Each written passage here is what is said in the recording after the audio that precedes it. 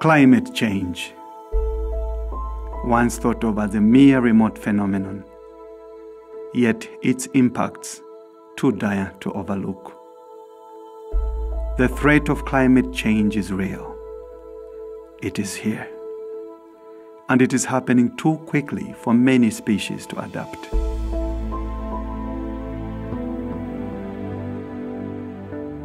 Nations are crying. Zambia has not been spared. Indeed, we are facing the biggest environmental challenge of our time. Accelerated climate change is anticipated to have wide ranging effects on the future sustainability of the Earth.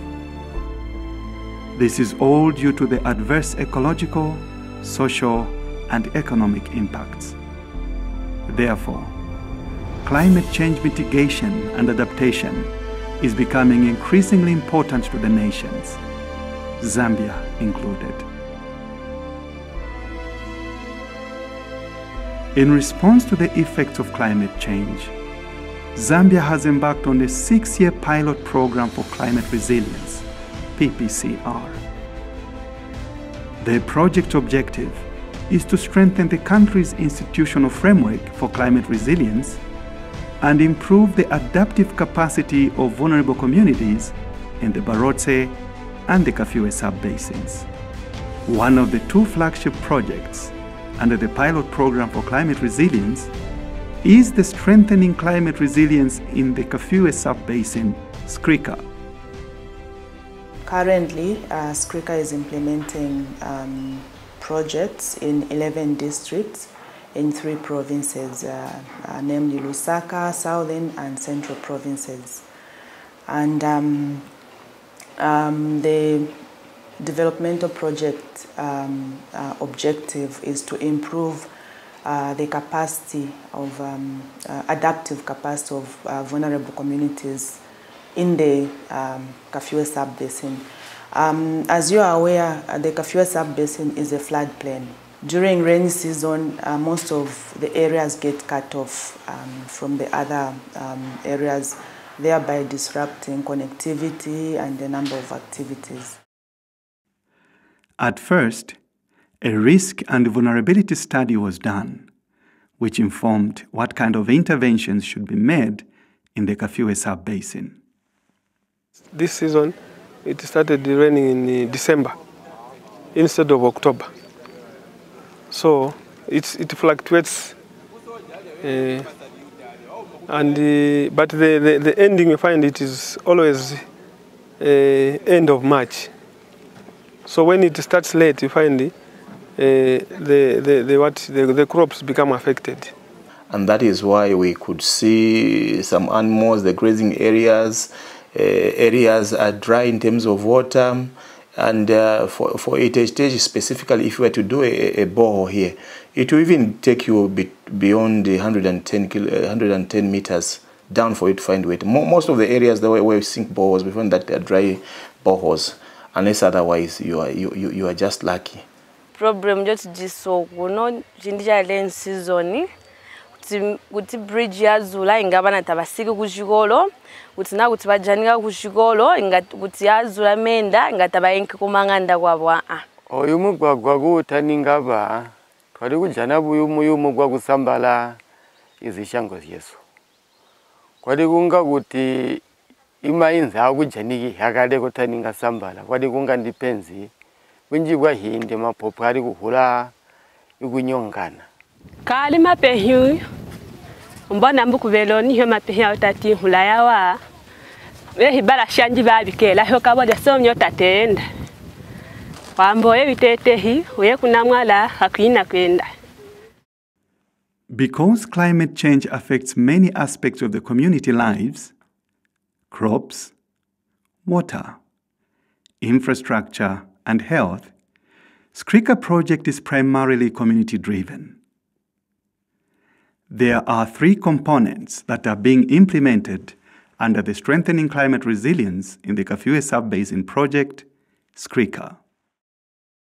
Under component one, we have community-driven um, adaptation um, projects whereby um, the communities themselves identified and came up with areas of um, interventions that are appropriate for their communities, which is uh, a bottom-up approach.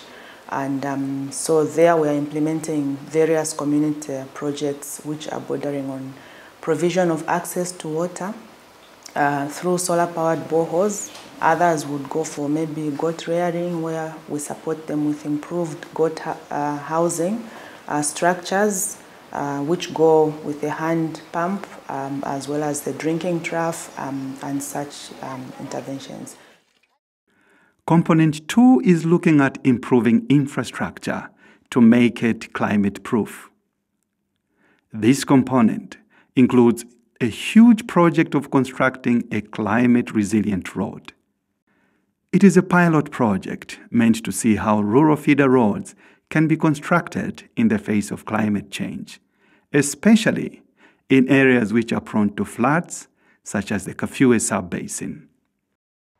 Component 3 is project management and administration. This includes the project implementation unit, finance management, and procurement support.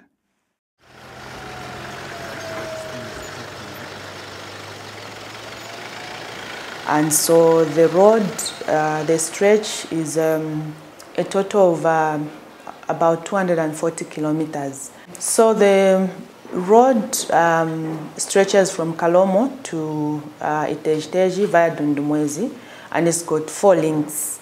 Uh, link one runs from Kalomo um, to Dundumwezi Gate, the national park, Kafue National Park, and uh, link two runs from the Kafue National Park gate of Dundumwezi up to the Ngoma gate um, in Itezhi-Tezhi.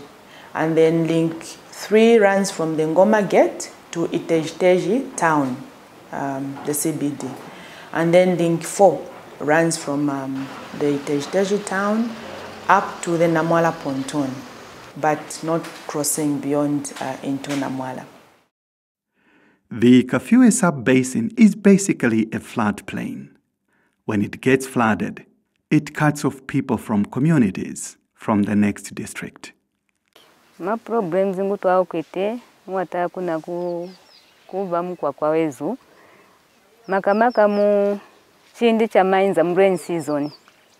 Ihira keyanika mehi umahira mumu so kuhiza kono kuchipatira twakuyana buzumuzumu maningi. Uh, at the beginning, there is more challenge for us actually. Yes, before we came, the road is cut off by water. Most of places is planned earlier. Yeah, and our machine, our, and uh, even the vehicle can't go through the park, can't go through, check the route. The purpose of making the roads climate resilient is to enable them connect the district for the reasons of providing access to markets for the farmers.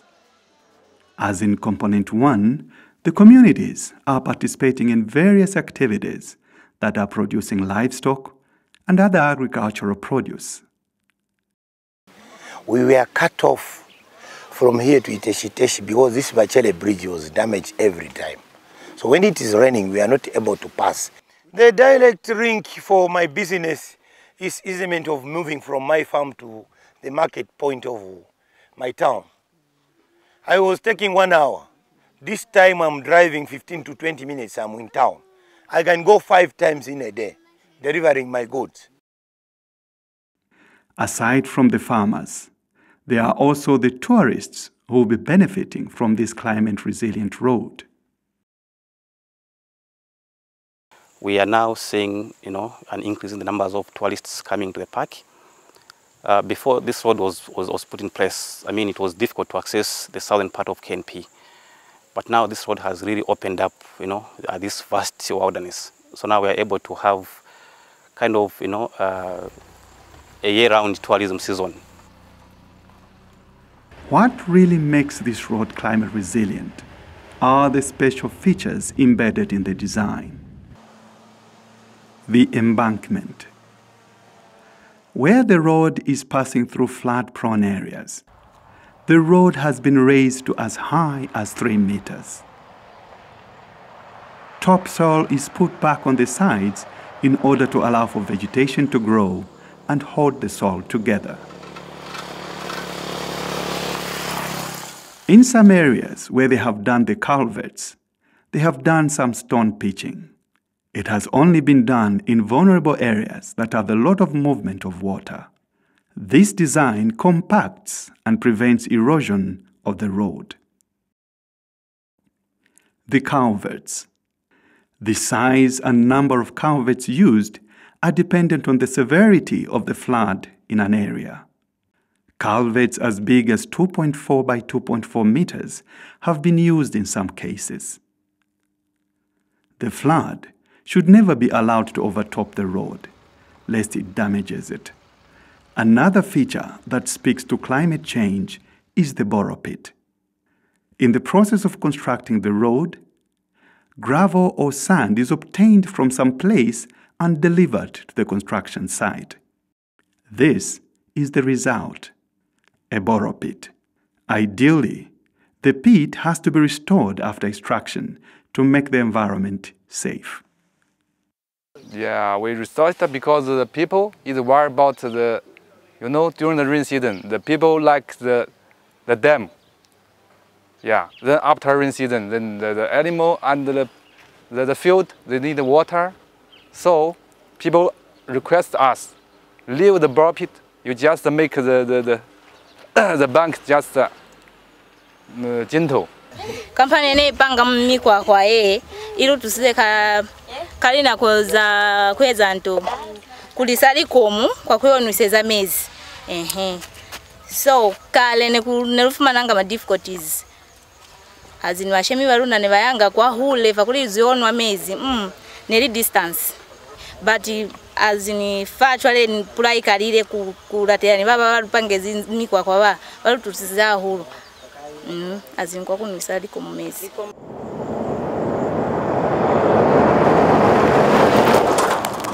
Despite being a gravel road, the climate resilient road boasts of appropriate road signs and features. With the special features in place, it is expected that the climate resilient road will be able to keep families, communities, and districts linked for many more years. The total length of Link 1 is 73 kilometers from the T1 junction in Kalomo to Dundumwezi Gate of the National Park. On this link, works are still ongoing. The works on Link 1 should have started from the Livingstone T junction. But the contractor had to start from the bridge. This is because the area from the bridge going to the T junction is residential and has a lot of activities. There may be need for the communities to be shifted in order to clear the way for the contractor to do the works. And so these um, decisions needed to be made in order for the contractor to really commence works on that stretch. That's why it was skipped. And then, but it's also part of um, the, the, the stretch that has to be worked on. Much more works still remain to be done on Link 1. This portion was commenced much later, owing to flooding in the Kafue National Park. Despite the delays, the contractor is determined to complete the works on schedule.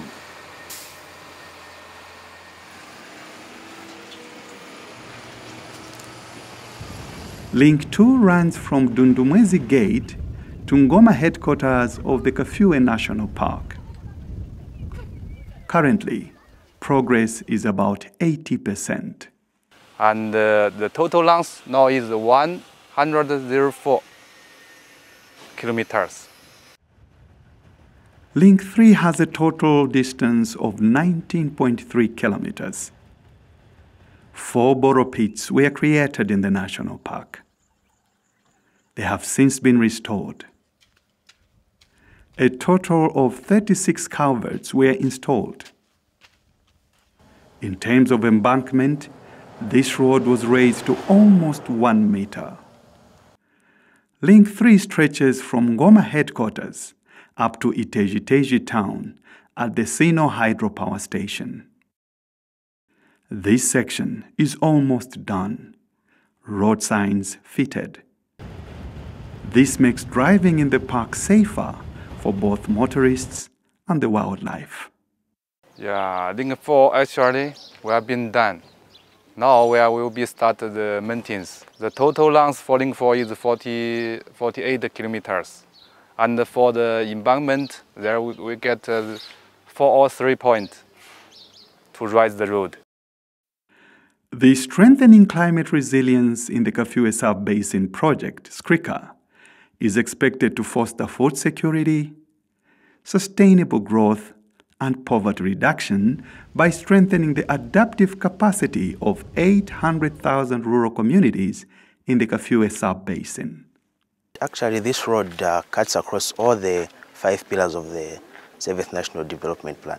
If we take the first pillar, which talks about economic diversification and uh, job creation, it has got a result area of export-oriented agriculture and other economic activities.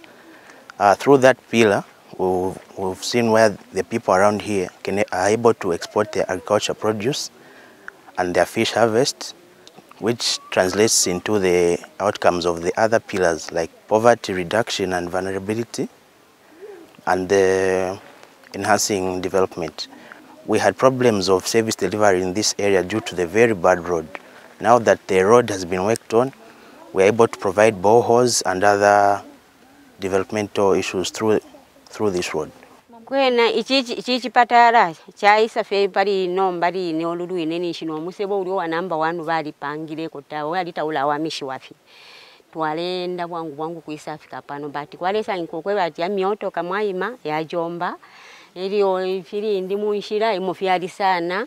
Ilipanga kulingana nga pali ino shitali batu wamisheko omusebo pano tetana ngutwaima nesipatala nafi fulano omusebo batu bikira so nakuwama sana okuchila fintu kwali Yeah, the difference that we've seen is great because we're able to uh, call an ambulance at any time and it comes as fast as we need it. Then the other, the other improvement is that uh, those home deliveries, they are not all that as before. So there is great improvement because people are able to come fast to the clinic. This road has brought so many social activities to the district. It has created employment to the locals, especially the youths. ipe hiri suka ye ya kupenga myota ketenda kabotu iye bepange pange lodi bimyota yakanka kuenda kabotu transport yakutola kunini kuchipatela na twakabotelwa kuyana kwamba lodi yaba ahwahwi ama nomyota yanka kuitaita minji minji so transport tatupengi As in any new project, not everyone receives the project well. kutanguna twati tukashashambe twati tukakake chintako cha kumazhimba twati tukakake twamba mbawaldilaifi balanda kutwandula akati balaba balanda kutuhapa batunange atunange nshi yenkalangija lusumpuko muchishi changu mono uswe ntuli kumbali kulodi iyo inthu aba kumbali kulodi ikalangija lusumpuko. Kambo bonse balimi. Bakala kuhumbiwezo washanga ndikowa ndipushi laluka nkakuya kujima kulodi kwamba bamupeko ulya chigayo. Bamupeko kufumbwa chapengele e, endela kwenda na kwamba ndalangirira ndamba yaba change twalyokeja ipehe tukalalisowa lodi tulibotelelwe kambo twayana lusumpuko kambo konse kuchishi kuli lodi lusumpuko kululi kambo kuti kuntu kwina olo mulalima mapopwe.